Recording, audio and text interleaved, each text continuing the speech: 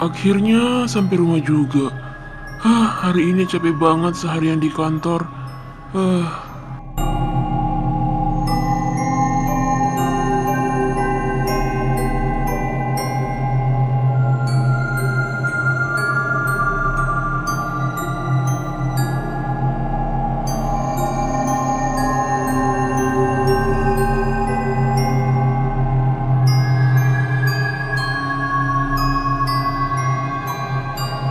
Rumah ini sangat sunyi, sepi, jauh dari keramaian. Tapi aku suka tinggal di sini. Rumah ini membuat aku sangat tenang.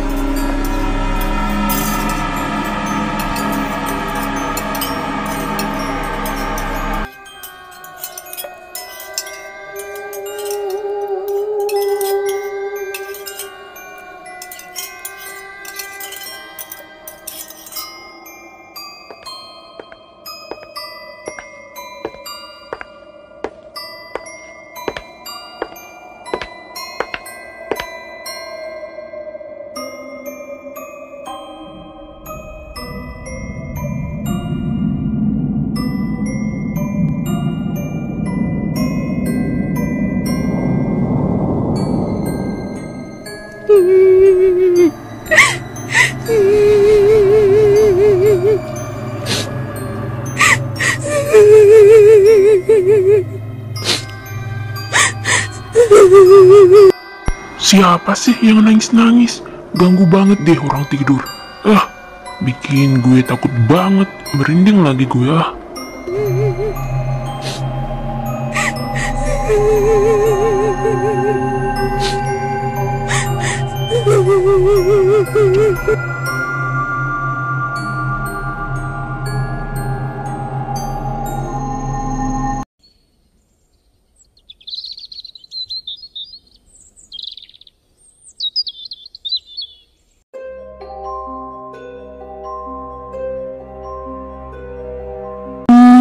aku terlambat nih pergi kerja, pergi kantor. Duh, ini gara-gara semalam nih tidurku nggak nyenyak gara-gara suara tangisan itu.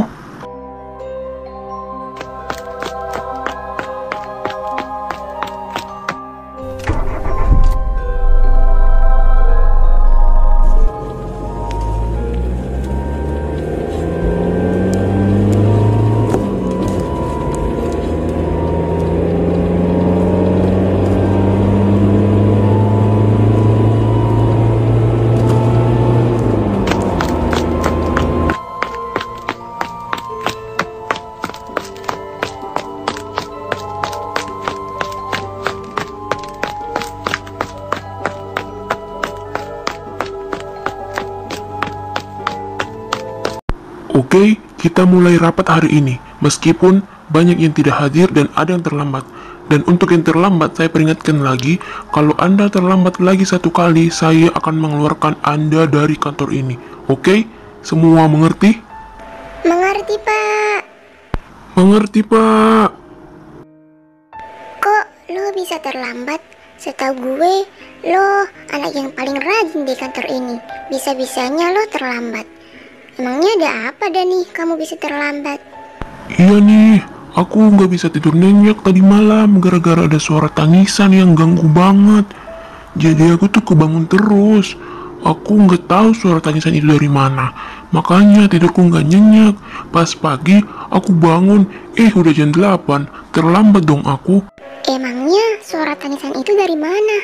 Kok sampai-sampai mengganggu kamu? Sampai nggak bisa tidur nyenyak?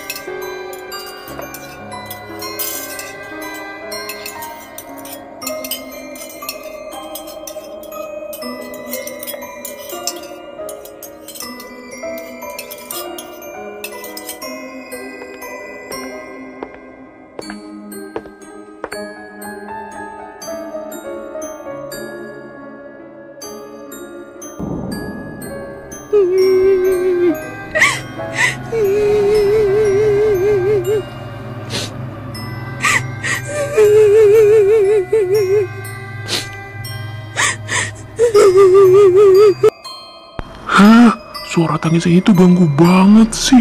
Ah, bikin gue nggak bisa tidur.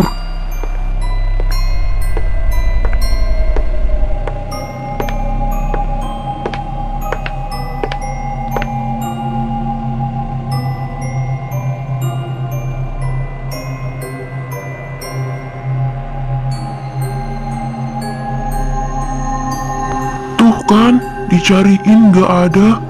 Siapa sih yang sering nangis malam-malam gini? Bikin gue ketakutan, bikin tidurku gak nyenyak. Hah, awas aja ya kalau aku tahu siapa yang nangis-nangis itu. Hah, bikin emosi aja malam-malam gini. Hah, mending aku masuk deh. Hah, bikin emosi. Siapa sih itu? Hah,